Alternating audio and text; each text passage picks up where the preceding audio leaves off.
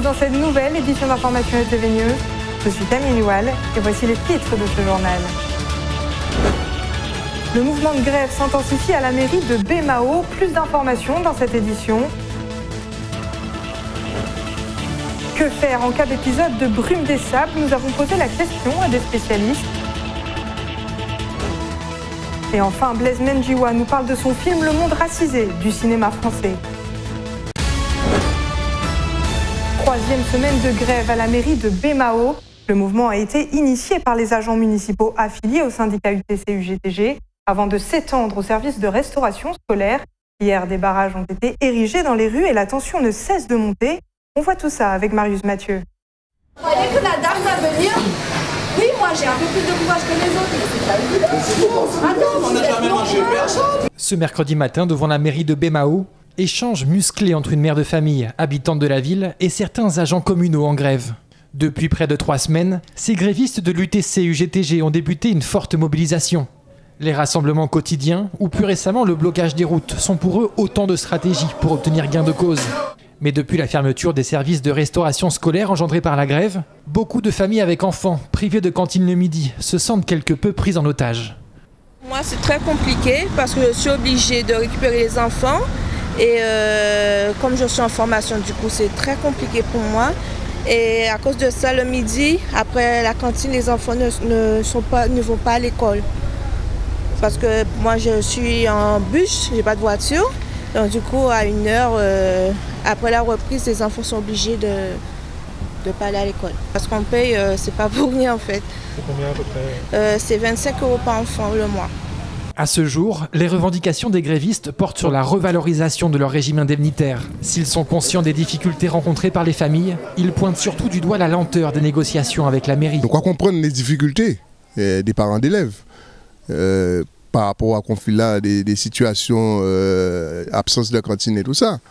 Non, mais nous avons dit que nous, euh, nous avons fait tout ça, nous payer pour éviter les conflits, hein, puisqu'on a rappelé que les points que nous avons discutés là, c'est des points que nous avons discutés plusieurs fois avant et qui n'ont pas apporter solution. Donc s'il y a un conflit, effectivement, il y a des situations que nous tous, nous, tous les deux avons déplorées. Revendication nous est juste et légitime et illégale. Nous avons fait des, nous avons concession en les points là ça il appartient à l'autorité là des points de responsabilité pour nous euh, bout de point là ça et pour nous poursuivre les discussions sur les autres points d'arrêté. Les associations de parents d'élèves travaillent aussi de leur côté pour trouver des solutions. La mobilisation des agents communaux de la ville de Bémao continuera jusqu'à nouvel ordre, selon les syndicats.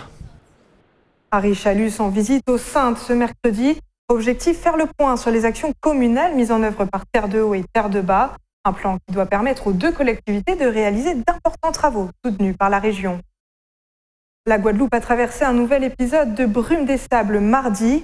Guader a d'ailleurs déclenché l'alerte orange et la FSU a donc alerté l'ARS et lui a demandé d'interdire la pratique du sport dans les écoles.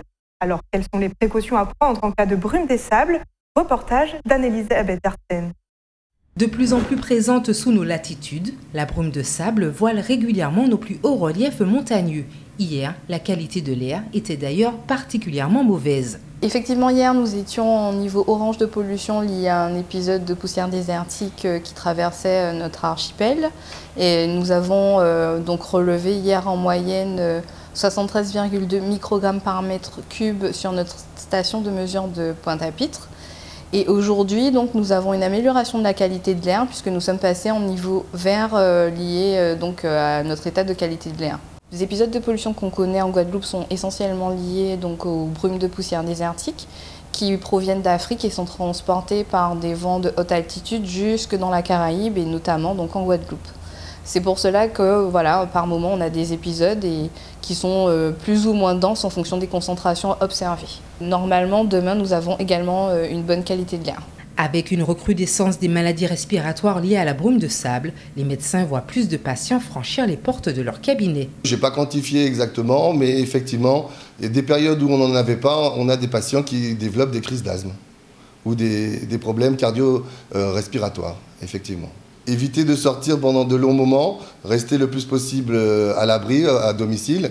Euh, les asthmatiques, les personnes âgées, les nourrissons, les personnes malades de maladies cardiovasculaires euh, doivent prendre ces précautions-là essentiellement. Se renseigner, euh, respecter les consignes de la préfecture et de l'ARS et rester à l'écoute. Si la qualité de l'air s'est améliorée ces dernières 24 heures, et ce jusqu'à demain, d'autres épisodes sont à prévoir. Dans ce cas, limiter les activités sportives en extérieur et surtout, lever le pied. Un petit mot de sport avec Teddy Riner, toujours invincible en judo depuis 9 ans.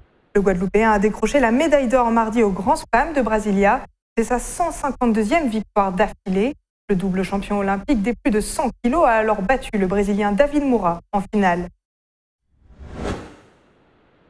Coup d'envoi pour le Cinestar International Film Festival ce soir. Objectif promouvoir les talents entiers dans le monde du cinéma, avec en avant-première demain Le monde racisé du cinéma français, un documentaire réalisé par Blaise Menjiwa. On l'écoute tout de suite.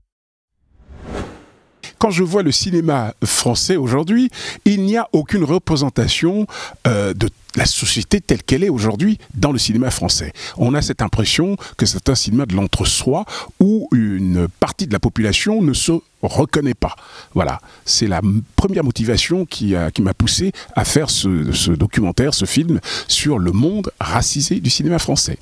La première chose, pourquoi, pourquoi dans ce cinéma, les rôles qui sont confiés aux acteurs issus de la diversité, acteurs et actrices issus de la diversité, et particulièrement les Noirs, sont-ils des rôles souvent prédéterminés? Pourquoi ces rôles connotés racialement sont donc confiés à ces acteurs? Je suis allé chercher les causes de cela, les causes historiques. Comment euh, on a construit dans l'imaginaire collectif la représentation du noir dans la société française?